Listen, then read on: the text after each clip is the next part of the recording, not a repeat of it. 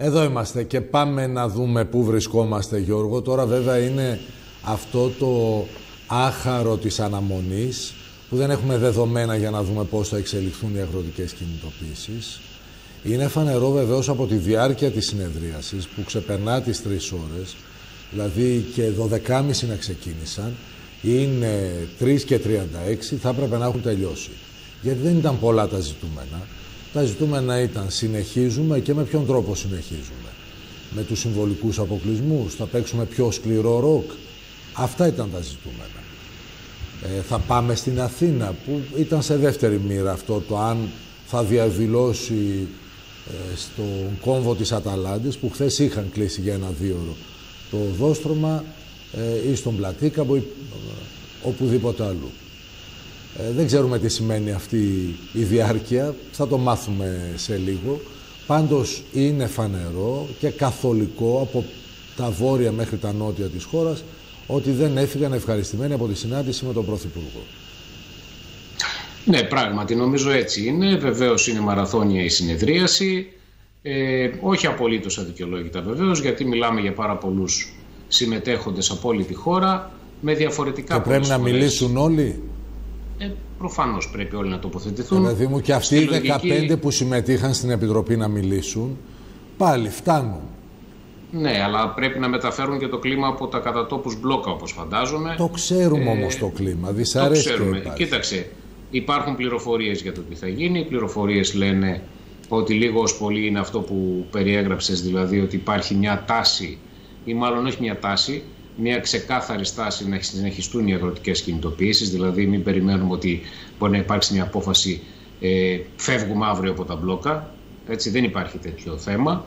Εκείνο που φαίνεται πως θα γίνει και προς αυτή την κατεύθυνση λένε οι δικές μου πληροφορίες ότι θα κινηθούν οι αγρότες. Στις αρχές της επόμενης εβδομάδας ε, μετέχουν, κατεβαίνουν ε, με τρακτέρ σε συλλαλητήριο στην Αθήνα, ε, στην πρωτεύουσα.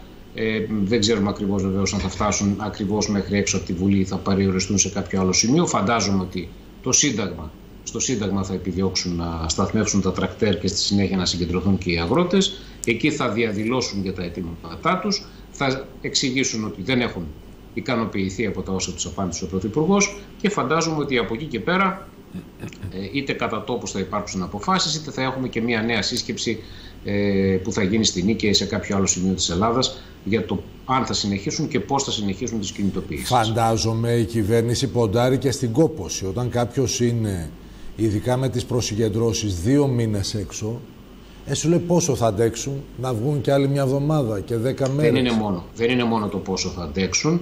Είναι ότι τμηματικά θα ανακοινώνονται, φαντάζομαι εγώ, και κάποια μέτρα. Πριν από λίγο, ας πούμε, άκουγα ότι για τη Θεσσαλία ε, αποδεσμεύεται ένα κονδύλι 15 εκατομμυρίων ευρώ το οποίο θα διατεθεί άμεσα και εξ ολοκλήρου στο να αποκατασταθεί τμήμα, αν όχι το σύνολο των αρδευτικών δικτύων που έχουν καταστραφεί σε πολύ μεγάλο βαθμό. Δεν μπορώ να σου πω σε ποιο βαθμό, αλλά σίγουρα ξέρουμε όλοι ότι έχει τεράστια καταστροφή στο Θεσσαλικό κάμπο. Αν δεν υπάρχουν αρδευτικά δίκτυα, δεν μπορούν να ποτίσουν οι αγρότες, δεν μπορεί να υπάρξει καλλιέργεια στην ουσία.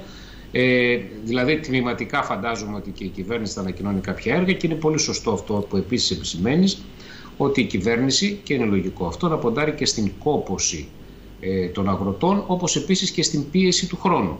Μην ξεχνάμε ότι ε, σιγά σιγά τελειώνει ο Φεβρουάριος. Οι αγρότες που μπορούν να καλλιεργήσουν όχι μόνο, δεν μιλάμε μόνο για τη Θεσσαλία, γιατί η Θεσσαλία έχει ιδιαίτερα προβλήματα. Στην υπόλοιπη χώρα θα πρέπει σιγά σιγά να βγουν και στα χωράφια τους. Δεν μπορούν να κάθονται δηλαδή με τα τρακτέρ τους και να περιμένουν σε κάποιο σημείο του δρόμου. Υπό την έννοια αυτή και ο χρόνος πιέζει ε, και η κόπος είναι αυτή η οποία λοιπόν. σίγουρα λειτουργεί και μια τακτική φαντάζομαι που ακολουθείται από όλες τις πλευρές ε, σιγά σιγά θα πούμε πιθανότατα θα δώσει μια λύση στο πρόβλημα. Εγώ πιστεύω ότι μια άμεσα διαρροή... την επόμενη εβδομάδα πάντως θα έχουμε μια ισχυρή κινητοποίηση στην Ωραία. πρωτεύουσα. Επειδή λοιπόν η διαρροή τώρα, όση ώρα μιλάς εσύ μου το λένε στο ακουστικό, η διαρροή από μέσα δεν έχει ολοκληρωθεί η συνεδρίαση. Είναι ότι την Τρίτη κατεβαίνουν στην Αθήνα, ήδη παίρνουν συμμετοχές από τους παρόντες. Ποιος μπορεί να βάλει το τρακτέρ του, ποιος θα βάλει ένα αγροτικό αυτοκίνητο ε, ή κάτι άλλο ε, για να δημιουργηθεί, γιατί όλο αυτό πρέπει να έχει και ένα νόμο. Μια οργάνωση. Και μια οργάνωση. Και μάλιστα η πρόταση που έχει πέσει, τώρα γίνονται αυτά, από τη διαρροή που μπορούμε να έχουμε, είναι να διανυκτερεύσουν. Δηλαδή, όχι πάμε, φτάνουμε στο Σύνταγμα, μένουμε μια ώρα και ξανά πίσω για την Πελοπόννησο, για τη Θεσσαλία, για τη Στερεά, γιατί φαντάζομαι δεν θα έρθουν τώρα από τον Εύρο αγρότες. Ε, οπότε, ε, αν γίνει και διανυκτέρευση, δηλαδή να το κάνουν κατά τα ευρωπαϊκά πρότυπα που μείναν στο Παρίσι, στις Βρυξέλλες και δύο και τρεις μέρες, καταλαβαίνουμε ότι ε, τότε θα είναι πρόβλημα για την κυβέρνηση. Ε, δεν θα είναι πρόβλημα το να πάνε για μία και δύο και τρεις ώρες και η μέρα να ακυρωθεί. Ακυρώνεται κάθε πέμπτη όλο το κέντρο ε, και όλο αυτό ε, διαχέεται παντού στην Αθήνα λόγω των παρεμπαιδευτικών συλλαλητήριων. Ε, ας γίνει μια φορά και για τους αγρότες. Θα τα δούμε. Σε λίγο φαντάζομαι θα ξέρουμε. Λοιπόν, πάμε στα υπόλοιπα. Η μέρα έχει πολύ μεγάλο ενδιαφέρον προς το τέλος της. Όταν θα βραδιάσει, όταν δηλαδή θα τελειώσουν οι ομιλίες και θα πάμε στην ψηφοφορία, δεν σχολιάσαμε χθες Γιώργο αυτό το απίθανο, ο Αρχιεπίσκοπος να ζητά ονομαστική ψηφοφορία. Τέτοια πολιτική παρέμβαση, αν εξαιρέσουμε τον χαρισματικό Χριστόδουλο, δεν είχαμε από την πλευρά της Εκκλησίας. Δηλαδή τόσο στοχευμένη να ζητά, ως τι ζητάει η Εκκλησία, ονομαστική ψηφοφορία. Αυτό το ζητούν τα κόμματα. Μπορεί να είναι προτροπή ναι. ενός πολίτη. Ως πολίτης, ο Αρχιεπίσκοπος Ιερώνυμος το ζήτησε. Αυτό δεν μας έχει συνηθίσει, είναι πρωτάκουστο. Ναι, είναι μια εξωθεσμική παρέμβαση για να είμαστε έτσι ακριβής. Είναι μια παρέμβαση που δεν νομιμοποιείται θεσμικά να συμβαίνει. Ιδιαίτερα μάλιστα όταν αυτό συμβαίνει από την Εκκλησία η οποία δεν πρέπει να εμπλέκεται άμεσα στα της διακυβέρνησης της χώρας. Μα, μα Γιώργο, μπορεί... συγγνώμη που σε διακόπτω εδώ. Είναι καθαρό αυτό που ζητάει η Εκκλησία. Θέλω να ξέρω ποια, ποιος θα ψηφίσει ναι, να τον γράψω στην ατζέντα μου και να τον περιποιηθώ μετά. Πώς λέει ο Σεραφείμ που είναι ο πιο ακραίος σε αυτό το κομμάτι, στη ρητορική του, οι βουλευτές που θα ψηφίσουν ναι έχουν θέσει τον εαυτό τους εκτός εκκλησίας. Γιατί το λέει ο Σεραφείμ. Έτσι έχει αποφασίσει. Αυτό λοιπόν που ζητά ο Αρχιεπίσκοπος κύριος Ιερώνυμος είναι πολύ συγκεκριμένο. Εγώ θέλω να τους καταγράψω.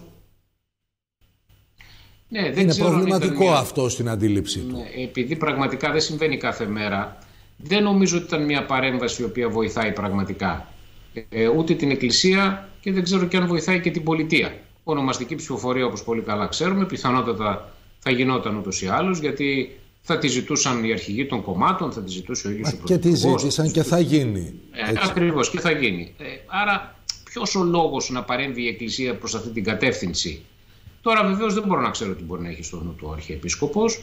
Δεν νομίζω όμως ότι προσέφερε κάτι το ιδιαίτερο. Τα υπόλοιπα που λέει ο Σεραφείμ νομίζω τα αντιπαρέρχομαι χωρίς ιδιαίτερο σχόλιο γιατί τα θεωρώ πραγματικά ότι ε, δεν έχουν σχέση ε, ούτε με τη δημοκρατία μας αλλά ούτε και με την Εκκλησία.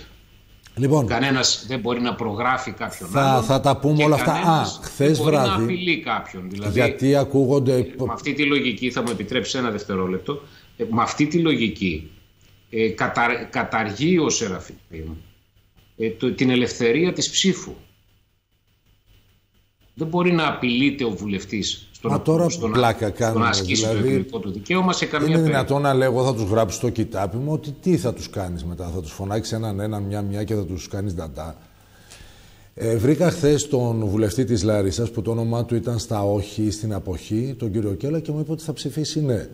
Λέω γιατί βλέπουμε πολλά ονόματα στις λίστες, όλα αυτά θα αποσαφινιστούν σε λίγες ώρες από τώρα, αλλά θέλω με άλλο να κλείσουμε, διότι βρήκα χθες βράδυ σε ένα κάλεσμα στην Αθήνα τον πρώην πλέον αρχηγό ΓΕΘΑ, τον Κωνσταντίνο Φλόρο, το όνομα του οποίου παίζει για τις ευρωεκλογές. Δεν ξέρω και εσύ αν το έχεις δει.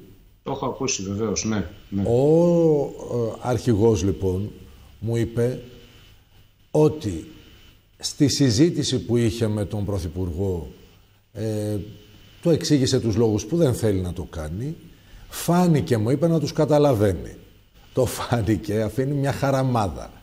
Δηλαδή μάλλον δεν τους κατανόησε πλήρως ο Πρωθυπουργός οπότε μπορεί και να με δείτε υποψήφιο. Δεν νομίζω ότι θα είναι αλλά κρατήστε το. Προς το παρόν ο ναι. άνθρωπος μετακόμισε, δηλαδή ακόμη μου λέει ίσα πρόλαβα, τακτοποιούμε σπίτι. Κοίταξε, να... πάντως είναι Γίνεται μια... ξανά παππούς από όποιο κόμμα το και αν Μάιο-Ιούνιο, να το ευχηθούμε τα καλύτερα, μεγαλώνει η οικογένεια.